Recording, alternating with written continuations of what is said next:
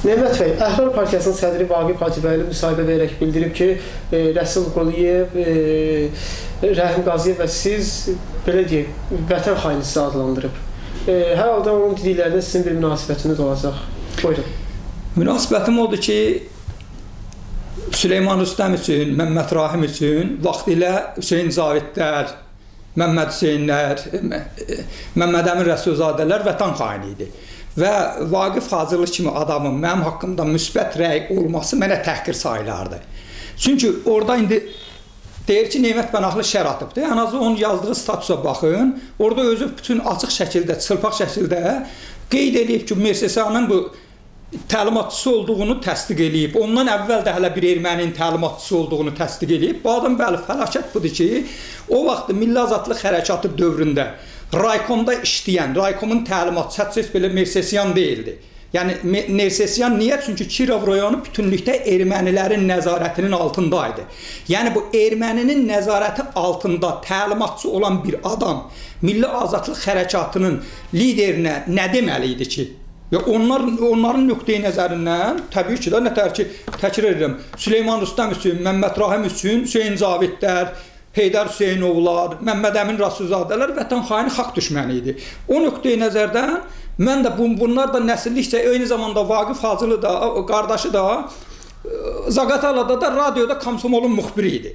Yəni Komsomol ailəsindən Komsomol uşağı Milli Azadlıq Hərəkatının nə rəhbərlik etmiş insana nə, nə deməli idi ki?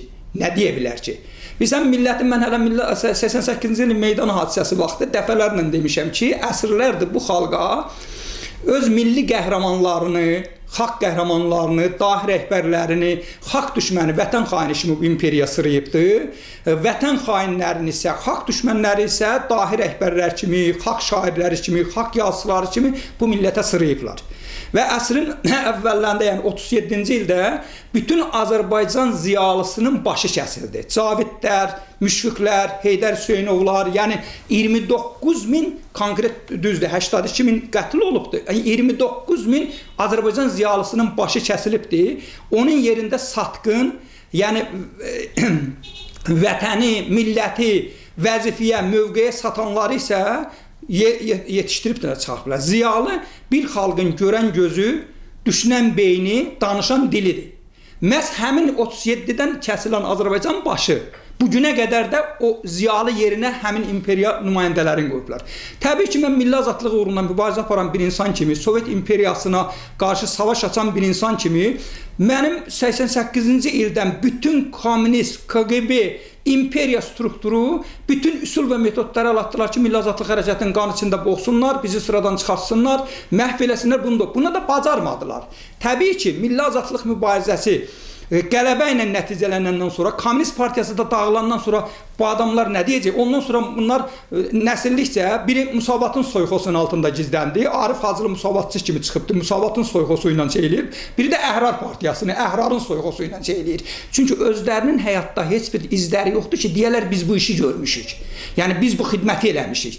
Bunların xidməti nədən ibarət olubdu? Mən şəxsən Azərbaycanda Milli Azadlıq Hərəkatına rəhbərlik eləmiş bir insan kimi Azərbaycanın bütün bölgələrini qarış-qarış gəzmişəm. Azərbaycanda gedən Milli Azadlıq Hərəkatının fəallarını istisnasız tanımışam. Ancaq mən 90-cı il 20 yanvar qətlamına qədər Arif Hacılı adında adam tanımamışam. Bu 90-cı ildə millət vəkili çıxıb. Yəni Sovet imperiyası cildi Azərbaycanda 20 yanvarda bura nəyə girdi? Azərbaycandakı milli azadlıq hərəkətini durdurmağa. Azərbaycanda milli istiqlal hərəkəti aparanları qan içində boğdu. Və Sovet tanklarının altında isə bunlar deputat çıxartdılar. Bunları deputat. Mən Arif Hacının o vaxt tanımışam ki, bu adam deputat olub. Təsəvvür edin, Xəlil Rza kimi Ulutürk kimi insan, Məhəmməd Hatəmi Tantəgin kimi bir insan, Nemət Pənahlı kimi bir insan deputat seçilə bilməyib. Ancaq bunlar deputat təyin olunublar. Yəni bu günləri siz inanırsınız, mən Azərbaycan cəmiyyətinə, Azərbaycan xalqına müraciət eləyərək deyirəm. Siz bu günləri inanırsınızmı ki, kimsə hakimiyyətin iradəsindən kənarda parlamentdə deputat seçilibdir? Ona görə mən dəfələrlə demişəm ki, 88-ci ildə də, 70 il müddətində Sovet imperiyası dövründə də istisnasız, təkrar edirəm, istisnasız deputatlar təyin olunub. Xalqın adından sadəcə olaraq şou yaradıblar ki, güya seçim olub, ancaq deputatlar təyin olunub. Son müstəqillik dövrü də ən azı mən prezident aparatında işləmişəm. Prezident aparatında işləmişəm və məhz prezident aparatında işlədiyim vaxtda ki, o saxtakarlığa gedəndə, yəni mən görəndə ki, prezident aparatında da saxtakarlıqla artıq hazırlanır ki, seçki keçirilsin, bir ay öncədən seçkinin, deputatların siyasını elan eləmişəm və buna görə vəzifəmdən istefa vermişəm. Çünki niyə? Seçim, deputat seçkisi millətin haqqıdır. Bu adamlar millətin seçmək və seçilmək haqqını əlindən aldılar. Bu adamlar indi özlərini güya təqdim edirlər ki, güya bunlar Milli Azadlıq Hərəkatını, Milli Hökumət yıxmışıq. Biz nəyi yıxmışıq? Təsəvvür eləyin ki, orada Yeltsini gətirdilər hakimiyyətə. Burada da bunları gətirdilər hakimiyyətə. Hakimiyyətə gətiriləndən sonra nə baş verdi? KGB-nin arxivlərini gizlətdilər, saxla saxladılar. Bir nəfər olsun 70 il müddətində və xüsusilə 88-ci ildən Milli Azadlıq Hərəkatı dövründə bir dənə satqını, bir dənə xaini cəzalandırmadılar. Bunlar rəsmi şəkildə kommunistlərlə sazişə getdilər və kommunist rejimini qorudular, saxladılar və hətta Sovet dövründə SSR vaxtı tətbiq edilən komenda saatını belə dəyişmədilər. Bizim iradımız nə oldu ki, biz dedik kommunist par parlament buraxılmalıdır, 20 yanvarda seçilən parlament buraxılmalıdır və bunlar deyirlər ki, biz konstitusiyanı qorumağa gəlmişik. Hansı konstitusiyasını? Sovet imperiyasının konstitusiyasını. Biz isə hesab elədik ki, milisin adını dəyişib polis qoymaqla vəziyyət dəyişmir. Parlament buraxılmalıdır, yeni parlament seçki keçirilməlidir, milli konstitusiya qəbul edilməlidir, milli dövlətçiliyin prinsipləri həyata keçirilməlidir. Bu fikir və KGB-nin arxivləri açılmalıdır, satqınla, xainlə xalqın övladları tanınmalıdır. Və nə etdilər bunlar? Təkrar şeyi qorudular, saxladılar. Sovet rejimini qorudular, saxladılar. Kommunistlərlə rəsmi şəkildə sazişə getdilər. Hətta Etibar Məmmədovla o dövrdə söhbət var idi ki, təklif edilmişdi ki, Etibar Məmmədovla şeylə koalisiya yaratsınlar. Ancaq bunlar rəsmi şəkildə kommunistlərlə koalisiyaya getdilər və onları köhnə kadr deyə, təcrübəli kadr deyə qorudular, saxladılar. Əksinə Azərbaycanın müstəqilliyi uğrunda, azadlığı uğrunda mübarizə aparan insanları isə məhv Məni tutdular, saldılar türməyə, Əmir Alim Bəhramovu saldılar türməyə, başqa fəalları doldurdular türməyə və eyni səviyyədə başladılar Qarabağda gedən döyüşlərə yardım etməyə əvəzinə, Qarabağda mübarizə aparan insanları öldürməyə. Ağdam Bərdədə azadlıq batalyonu vardı, Ələmşah. Onu darmadağın elədilər. Məsələn, bundan əsas bizim ittiham nə edirlər ki, güya Sürət Hüseynovun yanında durmaq, yəni Sürət Hüseynovun dəstək vermək, yəni bizim əsas faktor bu da, yəni e, Sürət Hüseynovun yanında durmaq vətən xainliğidir. Qardaş, Sürət Hüseynova milli qəhrəmanı Neymət Pənahlı verməyib. Sürət Hüseynova baş nazir Neymət Pənahlı təyin eləməyib. Sürət Hüseynova prezidentin səlahiyyətli nümayəndəsi Neymət Pənahlı təyin eləməyib. Əgər Sürət Hüseynov vətən xaini idisə, xalq düşməni idisə və bu vətən xaininə, xalq düşməninə milli qəhrəman qəhrəman adı verən kimdir? Vətən xaininə, xalq düşməninə baş nazirə mavin təyin eləyən kimdir? Və korpus komandiri təyin eləyən kimdir? Bunlar nə danışdıqlarını, ağızları eşitdiyi, danışdığını qulaqları eşidir, nə danışırlar? Biz, bəli, O dövrdə getmişik ki, bunlar Azərbaycanı vətəndaş müharibəsinə salıblar. Azərbaycanda iki döyüşən ordunu qarşı-qarşıya qoyub Azərbaycan xalqının övladlarını bir-birinə qırdırmaq istəyəndə, bəli, mən Gəncə hadisələrinə müdaxilə eləmişəm və bu qırğının imkan daxilində qarşısını almağa cəhd eləmişəm.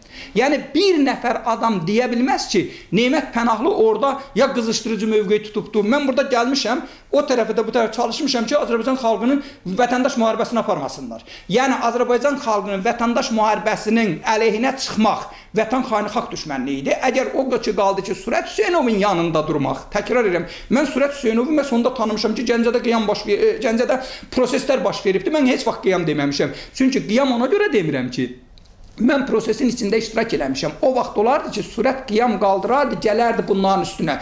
Bunlar da hücum çəkdilər ki, sürəti öldürələr, sürəti məhv eləyələr, sürət damısını tut təsir elədi. Sürət damısını tut təsir elədi. Öldürə bilmədilər. Yəni faktiki sürətə qarşı da sürət də deyirlər ki, məsələn, sürət Vəngə gedib dayanan kimi idi? Sürətin ordusu idi da. Yəni Arif Hacılı nəslindən, Arif e, Vaqif Hacılı nəslindən bir nəfər adam göstərsin ki, bu Milli Azadlıq hərəkatında iştirak eləyibdi, ya da Qarabağ döyüşlərində iştirak eləyib. Surəti xain sayan və Vəngə gedib kim dayanmışdı? Surətin qoşunu gedib dayanmışdı da. Ələmşahın qoşunu gedib dayanmışdı da. Və bu Qarabağda döyüş aparan batalyonları niyə məhv elədilər? Batalyonları məhv eləmək xəyanət idi. Surət kimi insana mən şəxsən demirəm, surətin surətin iti olmayanlar iti ola bilməyəcəklər bizə hürürlər. Yəni surətin surət ən azı Qarabağda döyüş aparıb. Hələ bu günə qədər surətin heç kəs nə rus kəşfiyyatı ilə adam olduğunu sübut eləyə bilməyiblər, nə başqa bir təşkilata açıb şər atıblar. Ancaq fakt odur ki, Surət Hüseynov Qarabağda döyüş aparıb. Və apardığı döyüşə görə də bunlar milli qəhrəman adı bunlar veribdi. Əgər Surət Hüseynov təkrar edirəm, bu döyüşü aparana arxadan zərbə vurmaq idi xəyanət. Yoxsa döyüşçünün üstünə gedib öldürəndə nə etməli idi? Surət bunların gülçə ilə qarşılamalı idi ki, gəlin məni öldürün. Ona görə bunlar öz mahiyyətini atalar deyir, öz adımı sənə qoyum, səni də yana-yana qoyum. Bir misal var deyir, yenə də o atalar söz deyir, utanmasan oynamağa heç nə, nə var ki? Yəni bunların ən az öz yazdığı statusa bax. Orada Zeynal Məmmədovun adını da çəkibdi. Zeynal Məmmədov bütün Azərbaycanda milli azadlıq hərəkatında iştirak edən hər bir şəxs bilir ki, müstəsna xidmətlər olub, dəmir yolun xüsusi tətil hərəkatına rəhbərlik eləyibdi. Azərbaycan milli azadlıq hərəkatında müstəsna xidmətləri olubdu. O cümlədən 20 yanvardan sonra həbs edilib. Şəxsən bax sizə də deyirəm, gedin tapın adam sağdır. Mən uzun müddətdir görmürəm. Gedin tapın. Əgər Zeynal Məmmədov onun bir balaca fikrini təsdiq eləsə, mən heç nə demirəm. Bəli, həmin dövrdə də Milli Azadlıq Hərəkatı dövrdə Vaqif Hacılı Raykomun təlimatçısı olubdu. Raykomun təlimatçısı da tətili dəstəkləyə bilməz. Milli Azadlıq Hərəkatına layihəli münasibət göstərə bilməz.